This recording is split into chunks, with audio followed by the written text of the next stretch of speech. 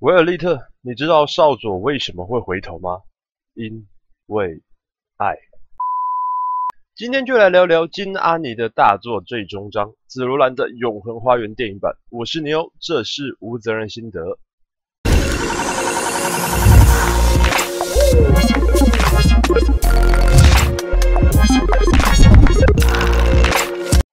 延续动画版《与外传》的剧情，还记得那位生重病的母亲在过世之前委托维尔利特写给女儿往后五十年的信吗？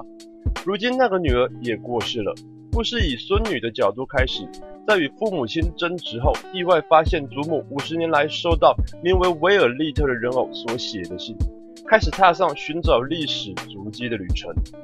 接着，倒叙法回到了莱登市尚未盖完电波塔的年代。维尔利特依旧无法忘记少佐的事情。某次，社长意外从一张信的笔记发现端倪，少佐可能还活着。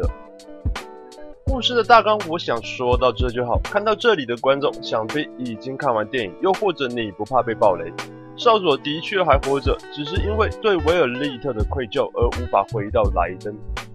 我们很清楚，紫罗兰的故事都是从不懂世事的威尔利特的角度去逐渐摸索理解什么是爱，而这次的故事该给出他的答案了。这次的主轴分成两个部分，一个是重病小男孩委托威尔利特写信，在自己过世后将信给自己的家人与朋友；另一个则是寻找少主。不得不说，金拉尼在人物的情感描绘下足了功夫，细腻的在角色的谈吐之间。反映出角色的心境与感情。男孩过世前的剧情，整场影厅的观众都哭了，可见那情感是多么的真诚，堆叠的如此浓厚。把话题说回来，男孩与少佐起初都无法坦率地表达自己的心意，人常因为面子，因为害怕暴露自己懦弱的一面，因为不想让周遭的人担心，因为擅自揣测他人的想法，而害怕表达自己真正想说的话。威尔利特帮男孩写信的时候说道：“因为接触了很多人，所以我很清楚，话都是两面。人们用粗暴的话语来掩饰自己真正的自我，那个害怕不安的自我。”少佐不见威尔利特，除了愧疚外，我想当时的他也无法明白什么是爱吧。但他却给了威尔利特一个如此困难的人生课题，他找到了属于他的答案。在最后一封信中，维尔利特写满了对少佐的感谢以及感情。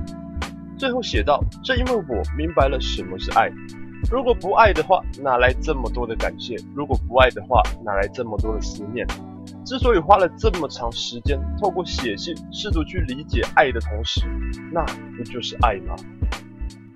不论是手足、朋友，又或者是父母、爱人，无意间的付出与努力。”陪伴与倾听，甚至是加油与鼓励，爱是那么单纯，却难以形容、难以发现、更难以理解的东西，导致被人们忽略。我想，不管是紫罗兰也好，又或者是二零二零这个无常、悲伤的一年也好，都是在提醒着我们要把握每个机会去传达感情。